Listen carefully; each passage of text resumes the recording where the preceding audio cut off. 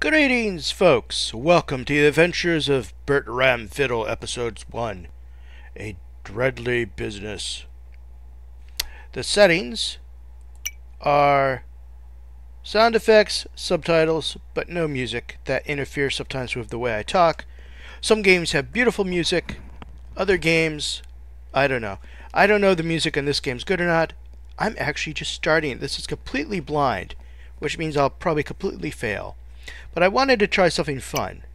Not that the other games I play aren't fun, but, you know, uh, Silent Hunter 3, I'm starting to get frustrated with the Royal Air Force. Uh, King of Dragon Pass, I'm getting frustrated with my own clan. and of course, UnderRail, I'm just frustrated. So we're going to try this new game. It's a game set in Victoria, England, mystery game with a lot of puns and humor. From I understand, it's about six hours long.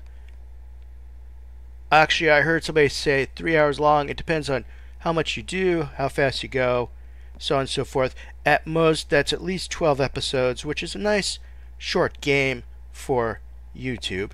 And Sophie and I can play and have fun. So let us try. Alright, no, let's try a new game. That was me testing out how things worked. So we're going to do a new game. We're going to use slot 1. Yes. Because I had no progress.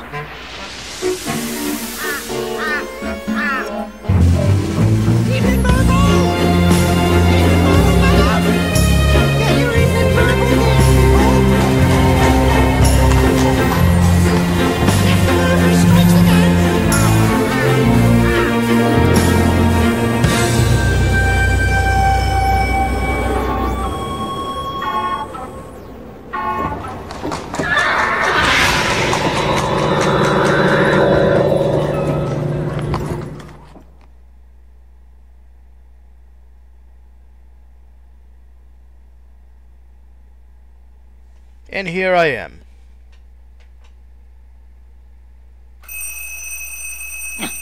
Pygmies! Ah, yes. Damn time machine! It's not a time machine. I can't see a thing. Well, then open the window. There you go. Ah, that's better. What a beautiful day. Only a mild smattering of pigeons. Well, go to the bathroom. Ugh. I wouldn't look in there if I were you. I'm not telling you to look in there. I want you to use the restroom. Ugh. I wouldn't look in there if I were you. All right. Well, you're going to have problems later on. Uh, but if you're going to hold it, I guess you're going to have to hold it all day.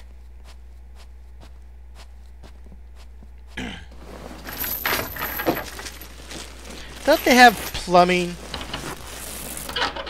Hmm. That's better.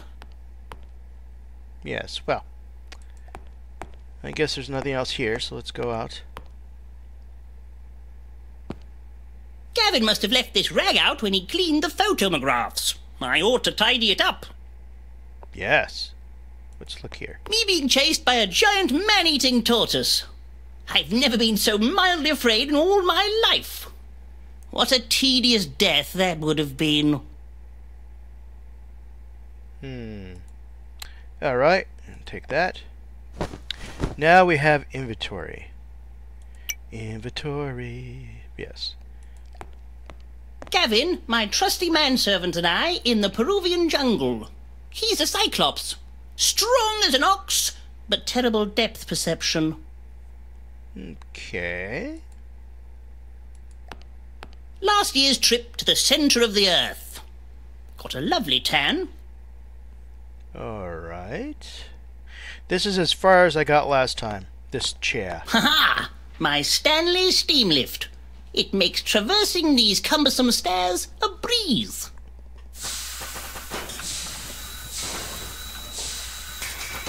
Seems to be a little stuck.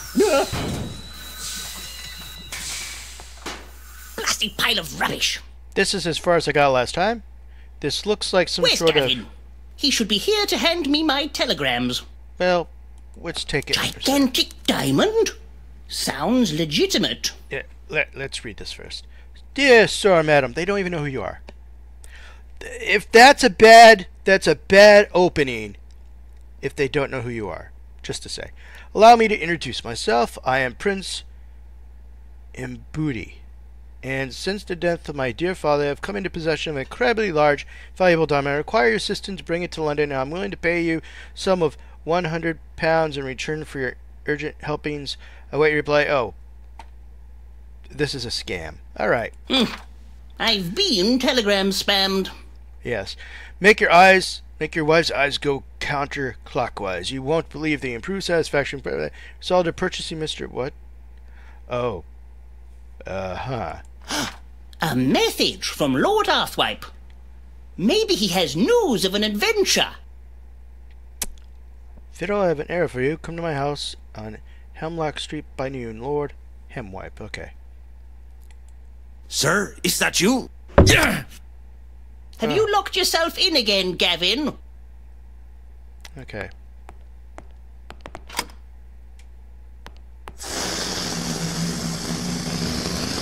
Good morning, Mr. Fiddle. Ah, there you are, Gavin. Where have you been? I was just, uh, deflating the Zeppelin, sir. I did not hear you walk down the stairs. Did you sleep well? Unfortunately not. It was a restless night embothered by some strange dreams. My mind craves adventure. And without it, I fear I'm going quite mad. It's been two months without the slightest expedition. I'm becoming a little worried. What shall I do if I can't do my adventurings? Do not fear, sir. There is an old Peruvian saying. The forest is full of trees. Hmm, quite. That's kind of weird. My grandfather had a massive clock. Right. Uh, I was actually trying to see the time. I'm assuming it's actually uh, not time to go yet, but whatever. Okay. I'm writing my autobiography. A fiddle here and there. It is a most gripping read, sir. Okay. Do you have like guns or? Yeah. A rather cheeky specimen. Get the gun. I shot my first Yeti with that. Nearly lost my moustache in the process. Okay. Just some artifacts I picked up on my travels. My prized possession. An actual Tyrannosaur arm bone. Okay. Let's see what else. Uh, can we close this? Can we close it? No. All right. Well, let's see. What's this egg? A fossilized dinosaur egg. But which came first? The egg, because chickens weren't invented yet. Though, I guess if a chicken's a dinosaur, the egg came first. My dear mother, I owe her so much. Approximately twelve thousand pounds and a new gazebo. Okay. The turtle? My turtle lamp. I don't know why I shelled out for it. Oh boy. Okay. This is gonna be a pun thingy, isn't it? Oh boy. Okay.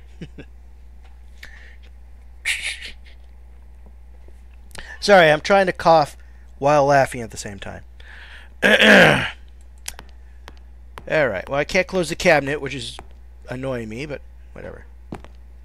Oh, there you are, Bertram. Oh crap, who's that? I don't have a gun. Take your hat off. Ugh, ugh, you've been drinking. Okay, uh, Foofy's carry basket. yes. Yes.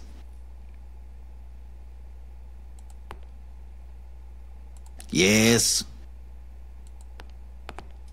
I guess that's just to talk to him. Don't touch my knickknacks.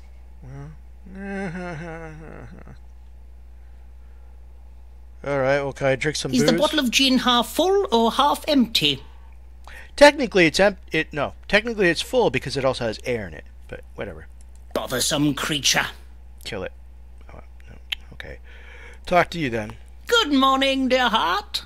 It's nearly ten o'clock. I hardly call that morning. Haven't you got some adventuring to do? Alas, no. I have been looking, but I just can't find any expeditions worthy of my talents. Well, if you don't find something to adventure soon, I shall require that you find yourself a proper job. It's not that easy, my dear. You can't merely go outside and find yourself in a world full of unimaginable creatures. Adventure strikes when you least expect it. That as may be, I am accustomed to certain standards, Bertram. Being respectable costs money. Your mother agrees with me. She has mentioned there is a very respectable position at Mr. Dulsworth Soap Company providing telegrammatic advertising. The hours are long and arduous, and the work repetitive and uninteresting. But you would receive a steady income, Bertram. My, my, is that the, um, hmm, I really must be off. Bertram! Caviar doesn't just grow on trees. There, there, my dear. Don't cry. I'm sure there is an adventure just around the corner.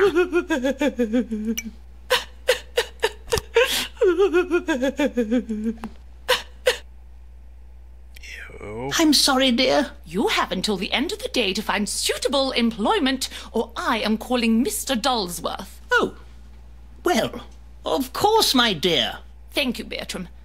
Now, could you do me a favour? Um, well, I do have an appointment with Lord Arthwipe. For goodness sake, Bertram, I don't like you running errands for a dreadful man.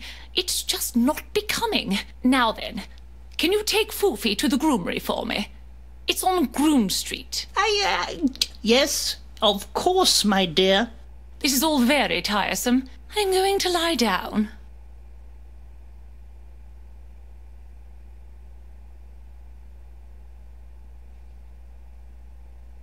Now, what was that about? Yes? I've captured countless species of wild animal. I'm sure I can manage a half-witted house pet. The secret is using the right bait. Oh.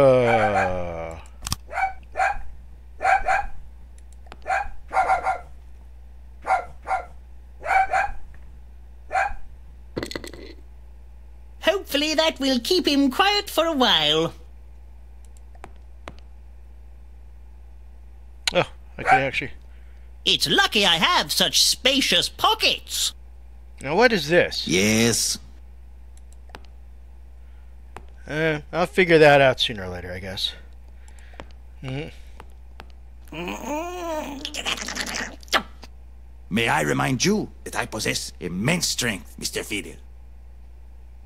Oh, that's Yes. what you do. Be a good fellow and move this cabinet, Gavin. Certainly, sir. Ah, so he's the so when I need strength, he's the guy I go to. Alright, let's peek at this. Ooh, okay.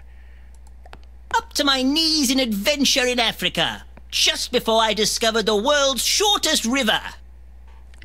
Okay, that's nice. Back in 1878, I managed to hunt down and kill the majestic rhino bird.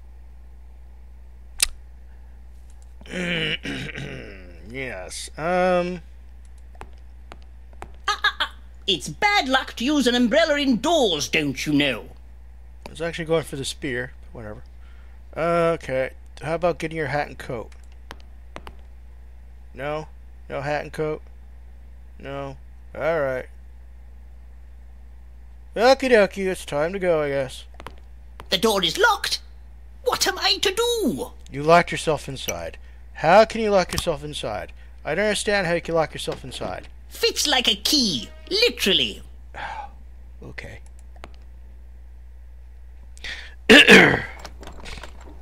What a lovely day for a stroll.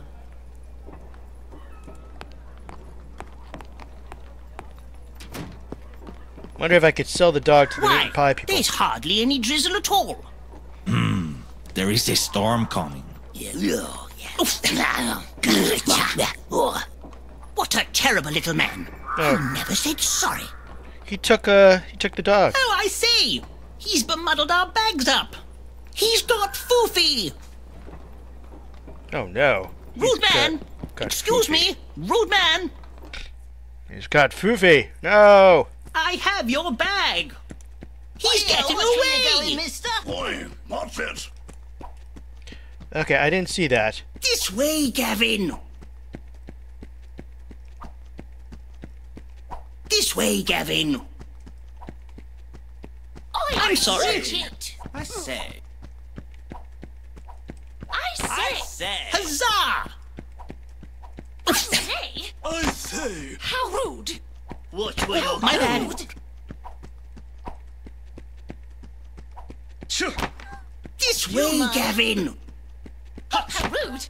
Do you mind? Do you mind? He's slippery as an eel. You're going. Get, out, of, the way. We're catching him. I say, pardon me. Should Be more careful. I'm sorry. You, sir, should be more careful. My good toe. Dickens. You, sir, should This way, Gavin. This way, Gavin. Oh, my turn. Dickens. My oranges! My lovely oranges! Uh, did we catch him? Ouch! Are you okay, sir? Maybe. What's this? It appears to be a nose. He lost his nose. He must have dropped it in his haste to scurry off into the shadows. That's not very interesting. Uh, You squashed me oranges. Me lovely orangey oranges. not really. Don't touch me oranges. Can I touch your pickles? Oh, no? Alright. Did you see a man? Have you seen a short, shadowy, sinister-looking chap scurry by? No, I'm afraid I haven't. Okay. Evening, Burble! Did you see a suspicious, shadowy little man run by, perchance? I wish to return his bag. No, sir, I have not. You should ask that Sherlock Holmes, sir. He's a proper detective. You can find him in the Adventurers Club. Yes, yes, I know who he is. I'm quite the detective myself, you know, blessed with a keen eye for detail. Let me have a look at that. Oh, look, a freak show is in town. Murder strikes again. Can anyone uncover the identity of Victoria's most blah blah blah blah? Can I look at the uh, case? No, that won't mix. All right, all right. Okay, well, I think this is about it for this area. Oh, I can't even go into the pickle shop. That sounds like a nice place to go. All right. Pickles and dills. Uh, did I just lose him? All right. Hmm, upgrade your moustache. A shilling? I'm not paying that.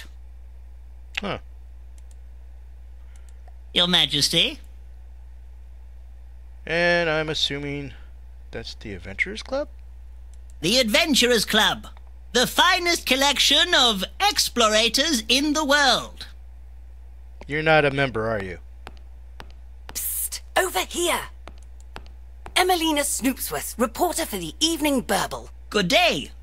Bertram Fiddle, leading Victorian explorator. Perhaps you've heard of me. Um, yes, yes, of course I have. Maybe you can help me. Are you a member of the Adventurers Club? Indeed I am, madam. How may I be of service? I'm investigating the ghastly murderings that have been happening, and I want to interview Sherlock Holmes, but he's a very difficult man to get hold of. They won't even allow women in this ridiculous, outdated backwards club. It's 1884, not the Middle Ages. Quite.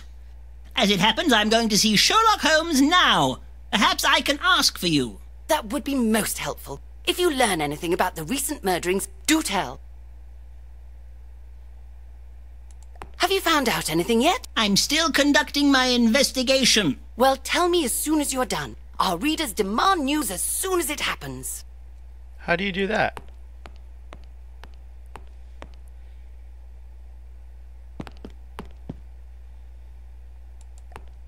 Ugh. He looks a bit sickly. Oh, he's dead. What a glorious rhinoceros! You're an idiot. What a unique horn! But what sort of animal is it? A genuine Fijian mermaid, although it does look a bit fishy. Oh, good evening, Mr. Fiddles. The usual. Yes, please. One can never have enough tea. Of course not. You need to have a cup on an adventure. That's just not. How do you do, Sir Grouchley? How do you think, Fiddle? Things haven't been the same since I lost my legs in Venice. Constant pain, Fiddle. Constant. Oh, I am sorry. That sounds terrible. You weren't there, man. You weren't there. Oh god, he's having flashbacks of Venice. The main attraction, taking pride of place on the wall. Oh. Oh. Oh. What an imposing pachyderm! His trunk is colossal. I'm afraid, Mr. Fiddle, you are not permitted into the gold members area. It is for A-list adventurers only. I've never been so outraged. I need to see Sherlock Holmes. Mr. Holmes has asked expressly not to be disturbed as he is working on the dreadful case of Geoff the murderer. I have my own case I want to talk to him about. I'm afraid, Mr. Fiddle, you are not permitted into the gold members area. Hmm, we'll have to figure out another way. That poor creature has not been mounted properly. It looks like it could fall down any minute. His antlers are as twisted as this mystery.